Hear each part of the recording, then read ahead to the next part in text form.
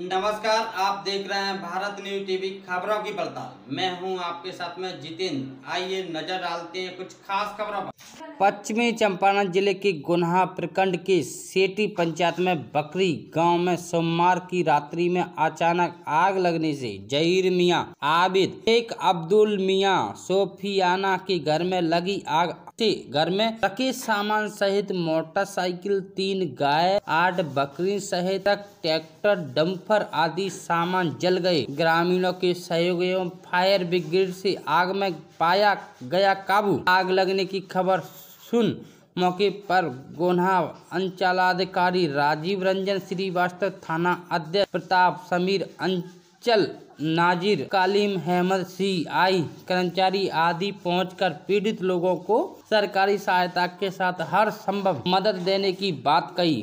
बिहार पश्चिमी चंपारण से bureau chief जय जयसिंगा आशिक हुसैन की रिपोर्ट। सात जिनका घर जल गया है सर। बहुत दुखद घटना है। अब जो जानकारी मिला हम लोग पहुँचे हैं। आग पर काबू पा ही लिया गया है। एक बकरी उकरी के बारे जानवर के बारे में भी जानकारी देखे हैं हम अपने स्तर से सरकारी प्रावधान के तहत आपदा के, के तहत जो भी मुआवजा होगा हम तुरंत हम पेमेंट करेंगे इन लोग को। इसीलिए इन लोग को बुलाया जा रहा है और तभी निर्देश दिया गया कि आग को पूर्ण कर बुझा लें। कितने घर जली हैं सर? चार घर जली है। चार घर के बाद में जो है दो गाय जो है देख रहे हैं कि जख्मी हुई है तब उन डॉक्टर को हम भेज रहे हैं यहाँ पर।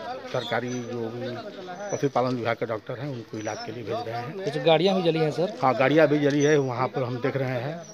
तो गाड़िया में जो है उन, उनको भी सूचना दी जा रही है ताकि वो अपना थाना स्तर पर अपना क्लेम करके अपना आवेदन दे और इंश्योरेंस के तहत क्लेम करेंगे उनको। बाकी खबरों के लिए देखते रहिए भारत न्यूज़ टीवी खबरों की पड़ताल।